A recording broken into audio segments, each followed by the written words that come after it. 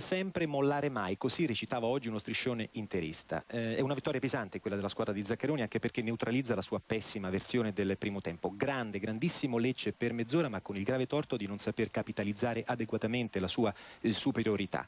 E poi ripresa di marca interista con orgoglio con la classe dei suoi campioni, due gol in 15 minuti e nel finale anche la ciliegina di Vieri festeggiatissimo. Per l'Inter 22 punti nelle ultime 9 giornate. Il Lecce scopre che finora in questo campionato ha perso 10 punti nel confronto tra i risultati dei primi tempi e quelli finali. Andiamo dunque a vedere rapidamente le immagini.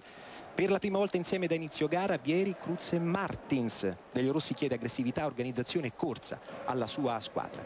In apertura al secondo c'è un errore di eh, Cannavaro, calcio d'angolo, bace Vanton, in bambola la difesa nerazzurra, ne approfitta Bovo, ottimo l'inserimento del difensore eh, giallo-rosso al suo primo gol in eh, Serie A. Abbastanza poco reattivo Adani, sbuca da dietro Bovo e non può nulla il piccolino Emre nel tentativo di salvataggio. Dieci tentativi a rete del Lecce nel primo tempo, qui Conan, poi una chance per Civanton che peraltro verrà nel secondo tempo ammonito, era diffidato, salterà Lecce Bologna, ha sbagliato qui da distanza ravvicinata. Eh, L'Inter si vede per la prima volta pericolosamente in attacco con Cruz, la sua centesima gara nella Serie A italiana, grande Polexic. Poi il tentativo di Bobo anche su calcio di punizione pronto Toldo ma guardate che eh, Barco concede l'Inter ancora a Cevanton debole il suo sinistro fa in tempo a recuperare la posizione Toldo. Poi una tremenda accelerazione da parte di Martins superato Siviglia tre interventi consecutivi di eh, Polexic. Con il montaggio di Donald Conti passiamo alla ripresa. E c'è il gol di Cruz su punizione Lecce ingenuo niente da fare per Polexic palla interno palla in rete festeggia dunque Cruz la sua centesima gara nella Serie A.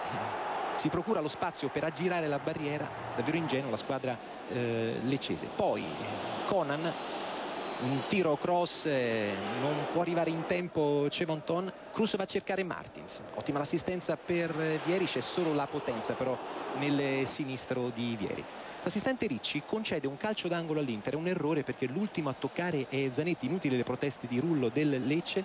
Dalla bandierina Emre e il corner viene sfruttato alla perfezione da eh, Cordova l'attaccamento di Cordoba alla maglia interista eh, mostrato ai tifosi nerazzurri.